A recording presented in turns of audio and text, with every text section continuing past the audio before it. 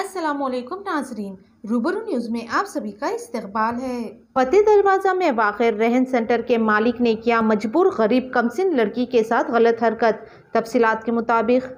हुसैनी अलम police station हदूद के इलाके फ़तेह दरवाज़ा में इंसानियत को शमसार करने वाला वाक़ पेश आया, जहाँ अपनी मजबूरी के सबब हनमंतो रहन सेंटर पर रहन रखवाने के लिए आई मासूम कमसी गरीब लड़की के साथ रहन सेंटर के मालिक हनमंतों ने की गलत हरकत।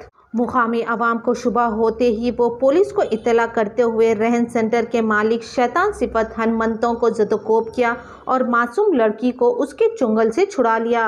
हुसैनी अलम पुलिस फौरी मुकाम वाक़ पहुँच कर तफ्तीश की और मुतासरा लड़की और दरिंदा सिफत हनमंतों को पुलिस स्टेशन ले गई। इस वाक़े की इतला मिलते ही A I M I M corporator फौरी हुसैनी अलम पुलिस स्टेशन पहुँच कर तफसीत हासिल की और इस वाक़े की सख्त मजम्मत करते हुए हनमंतों के ख़िलाफ़ केस दर्ज करवा दिया और मुतासरा लड़की से बात करके उसे तसली देकर उसे उसके घर भेज दिया।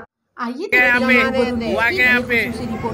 जो हुआ सो क्या हुआ? बोलो बोलो बड़े भाई क्या हुआ? बोलो आप चार साल से हैं यहाँ पर दस साल से आप उम्र निकाल दिए बोलो लेके जा रहा था अंदर हाथ पकड़ के खींच के बच्ची क्या होना आपको? एक सेकंड मैं कुछ भी नहीं होना मैं महल्ले का हूँ मैं। अच्छा। मैं महल्ले का हूँ फतेहराजे का हूँ मैं। वो बच्चियाँ कहाँ रहते मालूम आपको? नहीं नहीं नहीं मालूम मेरे को। अच्छा। तो हमारे अभी कहाँ है यहाँ वो बच्चियाँ कहाँ चल रहा हमारे को। बच्चियाँ कहाँ है वो अभी? ऐसा कई दिनों से चल रहा है वो हमारे को मालूम मगर हम तवज्जो नहीं दिया। आज हमारे बच्चे क्या करे वीडियो वीडियो लेके पूरा वो करे सोए। जी। समझ बात को आप पूरा वो करे सोए उसके बाद पकड़े गए सोए। अच्छा। हमारे अंदर घुस के पकड़े। पकड़े? सॉलिड पकड़े गए सोए ये लोग। समझ रहे बात को बस फतेरवादा चौरस्ते पे हनुमा, हनुमान रैन सेंटर का मालिक हनुमान ने एक मासूम बच्ची जो अपना सामान रखाने के लिए दो बहन आए थे वहाँ पे, एक बच्ची का हाथ पकड़ के वो घर में ऊपर ले जाने की कोशिश करा दुकान में।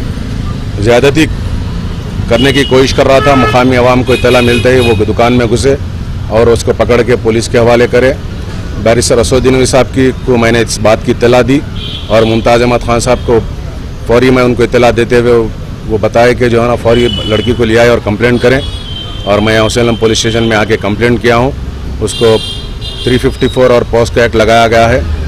ये दरिंदा दरिंदर दरिंदा सिफत इंसान जो रैन सेंटर चला रहे हैं हमारे मजबूर और बेबस लोग वहाँ जाके गलत इस्तेमाल करने की कोशिश कर रहे हैं रैन सेंटरों के मालिक। मैं अपील करता हूँ कि रैन सेंटरों से दूरी अख्तियार करें। शुक्रिया। सब ये बच्ची माइनर है या फिर माइनर लड़की है।